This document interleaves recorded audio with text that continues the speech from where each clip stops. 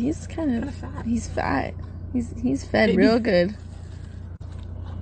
And then you got donkey over here.